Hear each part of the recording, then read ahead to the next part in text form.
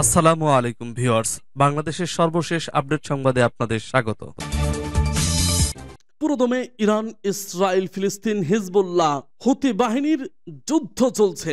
জানিয়ে দিব আমাদের হাতে থাকা সর্বশেষ গুরুত্বপূর্ণ আপডেট, আন্তর্জাতিক সংবাদ। আলহামদুলিল্লাহ, হামাসের হাতেই একদিনে তিনশো আট ইসরায়েলি সেনা খতম। উচিত জবাব দিয়েছে হামাস। আর এতেই শিক্ষা পেয়েছে দখলদার কট্টরপন্থী বেজন্মা নেতানিয়াহু সরকার। জানিয়ে দিব এ বিষয়ে বিস্তারিত প্রতিবেদন। এরপর জানিয়ে দিব হিজবুল্লাহর রকেট হামলায় জ্বলসে গেল ইসরায়েল আরও জানিয়ে দিব ইউরোপের প্রধান বিপদ হচ্ছে আমেরিকা ঘোষণা পুতিনের। এদিকে ইসরায়েল কি লেবাননের হিজবুল্লাহর ফাঁদে পড়েছে? আরও জানিয়ে দিব, লেবাননের মাটিতে যুদ্ধের বিস্তার ঘটালে চূড়ান্ত জবাব হবে ইসরায়েলকে কঠোর থেকে কঠোরতম হুঁশিয়ারি শেখ নাইম কাসেমের। এবং জানিয়ে দেব আরও একটি গুরুত্বপূর্ণ সংবাদ শিরোনাম, যে কোনো সময় হতে পারে ভারতের কট্টরপন্থী হিন্দুত্ববাদী নরেন্দ্র মোদীর জোট সরকারের পতন, বলছে কংগ্রেস সভাপতি সর্বশেষ জানিয়ে দিব, আট ইসরায়েলি সৈন্য নিহত, যুদ্ধ অব্যাহত রাখার হুঙ্কার নেতানিয়াহুর। শুনছিলেন সংবাদ শিরোনাম, এখন বিস্তারিত, তবে তার আগে অনুরোধ থাকবে, ভিডিওটিতে একটি লাইক এবং কমেন্টস করে জানিয়ে দিন। আজকের এই ভিডিও সম্পর্কে আপনার মূল্যবান মতামত, আর অবশ্যই এই ভিডিওটি আপনার ফেসবুক সোশ্যাল মিডিয়ায় শেয়ার দিয়ে ছড়িয়ে দিন আর জানিয়ে দিন, আপনি কোন জেলা থেকে বা কোথা থেকে আমাদের সংবাদটি শুনছেন এবং দেখছেন। আর বিশেষ একটি অনুরোধ থাকবে, আপনি যদি আমাদের এই চ্যানেলটিতে নতুন হয়ে থাকেন, তাহলে অবশ্যই চ্যানেলটি সাবস্ক্রাইব করে পরবর্তী আপডেট সংবাদ পেতে চোখ রাখুন ওয়ার্ল্ড নিউজ টুডেতে। হামাসের হাতে একদিনেই আট ইসরায়েলি সেনা নিহত। গাজায় হামাসের হামলায় একদিনে আট ইসরায়েলি সেনার মৃত্যু হয়েছে। আজ শনিবার ইসরায়েলের সামরিক বাহিনী এই ঘোষণা দিয়েছে। টাইমস অফ ইসরায়েলের খবরে বলা হয়েছে, শনিবার সকালে দক্ষিণ গাজায় রাফায় বিস্ফোরণে আট ইসরায়েলি সৈন্য নিহত হয়েছে। সামরিক বাহিনী ঘোষণা করেছে, জানুয়ারি থেকে গাজায় এটি ছিল আইডিএফ এর জন্য সবচেয়ে মারাত্মক ঘটনা। সেনাদের মধ্যে কেবল একজনের নাম প্রকাশ করা হয়েছে। তিনি হলেন কমব্যাট ইঞ্জিনিয়ারিং কর্পসের ছয়শো একতম ব্যাটালিয়নের deputy company commander. Wasim Mahmoud. বাকি সাত সেনার পরিবারকে তাদের মৃত্যুর বিষয়টি অবহিত করা হয়েছে। তাদের নাম পরে প্রকাশ করা হবে। আইডিএফ এর একটি প্রাথমিক তদন্ত অনুসারে সৈন্যদের সবাই নামারের armoured combat engineering vehicle CEV এর ভেতরে নিহত হয়েছিল। রাফার তাল সুলতান শহরের আশেপাশে উত্তর পশ্চিমাঞ্চল এলাকায় হামাসের বিরুদ্ধে রাতারাতি অভিযানের পর শনিবার ভোর পাঁচটার দিকে সৈন্যরা একটি কনভয় নিয়ে গাড়ি চালাচ্ছিল। এই সময় চারশো একতম আর্মার্ড ব্রিগেডের অধীনে সৈন্যরা প্রায় পঞ্চাশ জন বন্দুকধারীকে হত্যা করেছিল। রাতারাতি অভিযানের পর সৈন্যদের বিশ্রামের জন্য কনভয়টি সেনাবাহিনীর ভবনের দিকে যাচ্ছিল। নেমার সিইভি ছিল কনভয়ের পঞ্চম বা ষষ্ঠ যান। এক পর্যায়ে এতে একটি বড় বিস্ফোরণ ঘটানো হয়। তবে এটি তাৎক্ষণিকভাবে পরিষ্কার নয় যে সেখানে টাইম বোমা স্থাপন করা হয়েছিল, নাকি হামাস কর্মীরা কোনো বিস্ফোরক ডিভাইস নিয়ে গাড়ির কাছে এসে সরাসরি সিইভিতে রেখেছিল। সিইভির বাইরের অংশে সংরক্ষিত বিস্ফোরণগুলো বড় ধরনের বিস্ফোরণের সম্ভাবনা নিয়ে তদন্ত করছে সামরিক বাহিনী। সাধারণ সিইভির বাইরের অংশে সঞ্চিত মাইন এবং অন্যান্য বিস্ফোরক বিস্ফোরিত হলে ভেতরে সৈন্যদের আঘাতের কারণ হতে পারে না। তবে এ সময়ে কোনো বন্দুক যুদ্ধ হয়নি। অবশ্য বিস্ফোরণের সময় গাড়িটি থেমেছিল না, তদন্তে পাওয়া গেছে। তাদের মৃত্যুর মধ্য দিয়ে হামাসের বিরুদ্ধে স্থল অভিযানের এবং গাজা সীমান্তে অভিযানে নিহত আইডিএফ সেনার সংখ্যা তিনশো সাত জনে পৌঁছেছে। এদিকে গত সপ্তাহে বন্দি উদ্ধার অভিযানে একজন পুলিশ কর্মকর্তা নিহত হয়েছেন। এছাড়া প্রতিরক্ষা মন্ত্রণালয়ের একজন বেসামরিক ঠিকাদারও নিহত হয়েছেন। গাজায় সবচেয়ে মারাত্মক ঘটনা ঘটে জানুয়ারিতে। ওই সময় হামাসের আরপিজি ফায়ারের পরে একটি বিস্ফোরণে একুশ সৈন্য নিহত হয়, সূত্র টাইমস অফ ইসরায়েল হিজবুল্লাহর রকেট হামলায় জ্বলছে গেল ইসরায়েল লেবাননের সশস্ত্র গোষ্ঠী হিজবুল্লাহর রকেট হামলায় দখলদার ইসরায়েলের উত্তরাঞ্চলে বিশাল আগুন লেগেছে। জানা গেছে, রকেট হামলার কারণে দেশটির উত্তরাঞ্চলের বারআম এবং ইয়ারুনের বিভিন্ন জায়গায় ভয়াবহ আগুন লেগে যায়। ফায়ার সার্ভিসের স্থানীয় কর্মকর্তাদের বরাতে গণমাধ্যমের প্রতিবেদনে বলা হয় ঘটনাস্থলে কাজ করেছে ফায়ার সার্ভিসের চারটি দল। তবে আগুন অন্যান্য এলাকায় ছড়িয়ে যাওয়ার সম্ভাবনা নেই। শুক্রবার দখলদার ইসরায়েলের বিভিন্ন জায়গায় নতুন করে রকেট হামলা চালায় হিজবুল্লাহ। তাদের এসব হামলা হামলায় আগুনের সূত্রপাত হয়। এর আগে ইসরায়েলকে লক্ষ্য করে বুধবার সকালে দুইশোরও বেশি রকেট ছড়ে লেবাননের শক্তিশালী সশস্ত্র গোষ্ঠী হিজবুল্লাহ গত আট মাস ধরে চলা এই যুদ্ধে ইসরায়েলকে লক্ষ্য করে হিজবুল্লাহর চালানো অন্যতম বড় রকেট হামলা ছিল এটি। ওই দিনের হামলায় লক্ষ্য করা হয় তাই বেরিয়াসকে চলমান যুদ্ধে এর আগে এই অঞ্চলে কোনো রকেট ছড়েনি হিজবুল্লাহ, সূত্র টাইমস অফ ইসরায়েল। ইউরোপের প্রধান বিপদ আমেরিকা বলছে পুতিন। পার্স টুডে রাশিয়ার প্রেসিডেন্ট ভ্লাদিমির পুতিন বলেছেন, বিশ্বের বর্তমান পরিস্থিতি, পশ্চিমা দেশগুলোর স্বার্থপরতা এবং অদত্ততার ফসল বিশ্ব এমন এক পরিস্থিতির কাছাকাছি যেখান থেকে ফিরে আসা সম্ভব নয়। গতকাল তিনি এক সংবাদ সম্মেলনে রাশিয়ার উপর কৌশলগত পরাজয় চাপানোর জন্য মার্কিন যুক্তরাষ্ট্র এবং তার মিত্রদের প্রচেষ্টার কথা উল্লেখ করে বলেন, মার্কিন যুক্তরাষ্ট্র নিজেদের সাম্রাজ্যবাদী অবস্থান ধরে রাখার চেষ্টা চালিয়ে গেলে দেশটির পতন অবশ্যম্ভাবী। ইউক্রেন যুদ্ধের প্রসঙ্গে টেনে পুতিন বলেন, এই সংকট রাশিয়া ও ইউক্রেনের সংঘাতের কারণে সৃষ্ট সংকট নয়, বরং পশ্চিমাদের আগ্রাসী নীতির কারণে এই পরিস্থিতি সৃষ্টি হয়েছে। ন্যাটোর নীতি হলো একটি দেশকে দোষারোপ করে সেটার বিরুদ্ধে সমস্ত শক্তি নিয়োগ করা। পুতিন আরও বলেন, ইউক্রেন সংঘাত শান্তিপূর্ণভাবে সমাধান করা যাবে বলে মস্কো আশা করেছিল।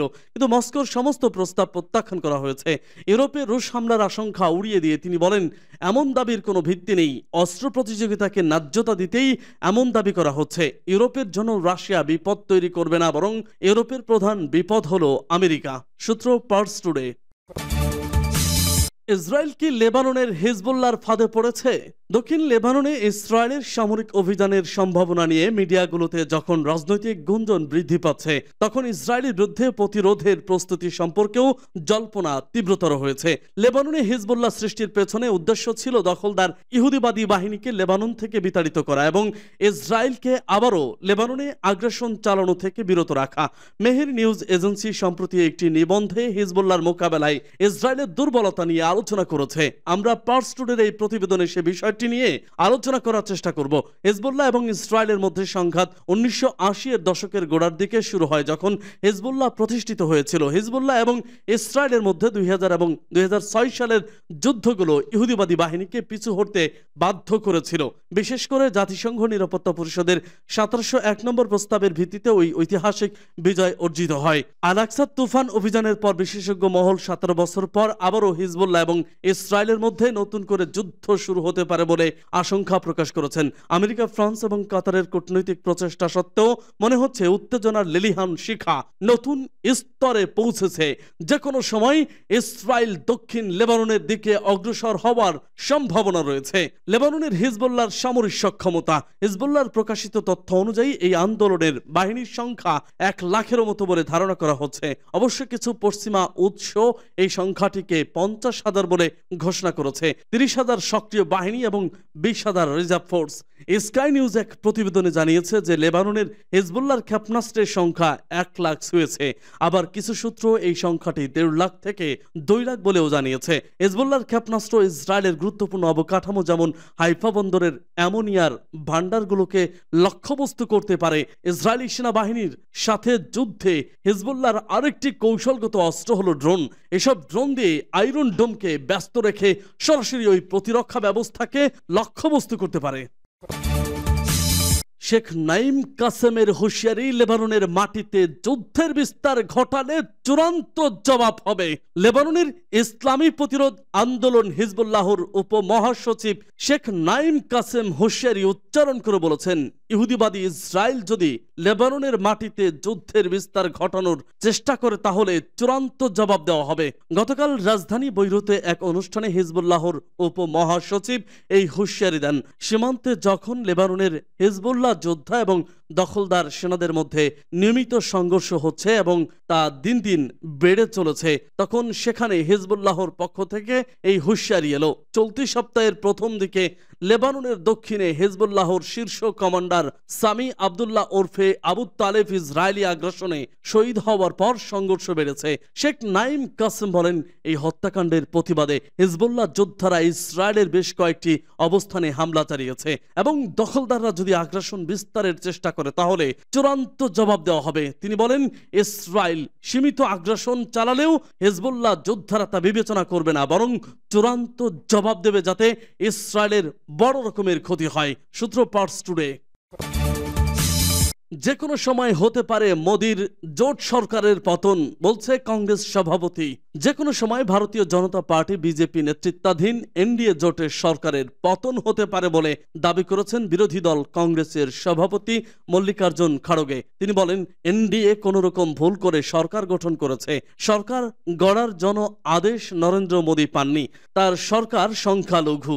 যে কোনো সময় তাই ওই সরকারের পতন হতে পারে। বিজেপি তাদের জোট টিকিয়ে রাখতে রীতিমতো লড়াই করছে। এমন জল্পনা শুরু হওয়ার কয়েকদিন পর শনিবার কংগ্রেস সভাপতি ওই মন্তব্য করেন? খাড়গে বলেন, আমরা তো চাইব সরকারটা চলুক। দেশের জন্য সেটা ভালো। আমরাও চাই একসাথে দেশের জন্য কাজ করতে, দেশকে মজবুত করতে। কিন্তু আমাদের প্রধানমন্ত্রীর অভ্যাসটাই এমন যে, যা ঠিকঠাক চলে, তাকে চলতে দেন না। তবে আমাদের পক্ষ থেকে বলতে পারি, দেশকে শক্তিশালী করার জন্য আমরা সরকারকে সহযোগিতা করব।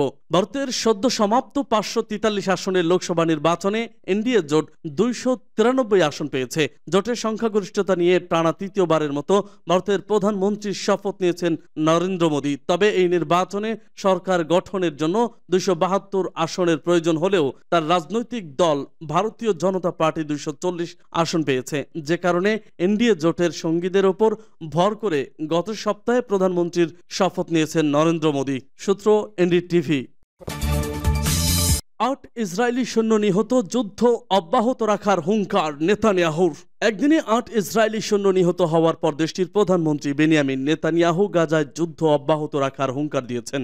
শনিবারের হামাসের ওই আক্রমণটি ইসরায়েলের জন্য বিরাট ক্ষতি হিসেবে বিবেচিত হচ্ছে। শনিবার সকালে রাফায় এই ঘটনা ঘটে। ইসরায়েলি সেনাবাহিনী জানিয়েছে, প্রাথমিক তদন্তে দেখা গেছে যে আটজন সৈন্যবাহী একটি কমব্যাট ইঞ্জিনিয়ার গাড়িকে বিস্ফোরক দিয়ে উড়িয়ে দেওয়া হয়েছে। ওই গাড়িটি কেউ প্রাণে রক্ষা পায়নি। হামাস অ্যান্টি ট্যাঙ্ক ক্ষেপণাস্ত্র দিয়ে হামলাটি করেছে কিনা তাও ইসরায়েলিরা খতিয়ে দেখছে। তবে প্রাথমিক খবরে মনে হচ্ছে যে গাড়িটির নিচে বিস্ফোরক ছিল কিংবা সেখানে বিস্ফোরক রাখা হয়েছিল। সম্ভবত কোনো হামাস যোদ্ধা তা করেছিল। যাই হোক, ইসরায়েলি সেনাবাহিনী বলছে এটা ছিল একটি হামলা, আর হামাসও নিশ্চিত করেছে তাদের যোদ্ধারা ওই হামলা চালিয়েছে। জানুয়ারির পরে এটি ছিল ইসরায়েলি বাহিনীর উপর সবচেয়ে প্রাণঘাতী হামলা। জানুয়ারিতে গাজায় একদিনে একুশ ইসরায়েলি সৈন্য নিহত হয়েছিল। হামাসের হামলায় দুটি ভবনে অবস্থানরত ইসরায়েলি সৈন্যরা নিহত হয়। এদিকে ইসরায়েলি প্রধানমন্ত্রী বেনিয়ামিন নেতানিয়াহু বলেছেন, এই যুদ্ধে এবং আজ ভয়াবহ ক্ষতি সত্ত্বেও সকল লক্ষ্য অর্জিত না হওয়া পর্যন্ত যুদ্ধ অবশ্যই অব্যাহত থাকবে। প্রায় নয় মাস ধরে যুদ্ধ চলছে, কিন্তু গত অক্টোবরে ইসরায়েল যে লক্ষ্য নির্ধারণ করেছিল এখনও তা বাস্তবায়িত হয়নি। এখনও গাজায় একশো বিশেরও বেশি ইসরায়েলি বন্দী রয়ে গেছে, আর গাজায় এ পর্যন্ত অন্তত তিনশো আট ইসরায়েলি সৈন্য নিহত হয়েছে।